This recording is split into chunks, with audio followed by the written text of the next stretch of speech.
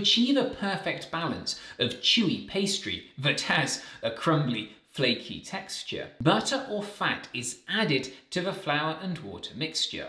The fats in butter are triglyceride, esters made up of glycerol and fatty acid chains. The fatty acid chains are hydrophobic. This means they don't mix with water. Because of this, as the butter coats flour particles in the pastry dough, it prevents them from absorbing excessive water. This then disrupts the bonding that can occur between the proteins in the flour and stops the network of gluten from fully forming reducing the elastic nature of the pastry and making it more flaky and crumbly. During baking, the high temperatures used also cause the fats to melt and break apart in hydrolysis reactions releasing free fatty acids that help give the pastry its buttery flavour. The exact melting point of the fat used is really important to get the desired texture. Ideally, the fat used is a solid at room temperature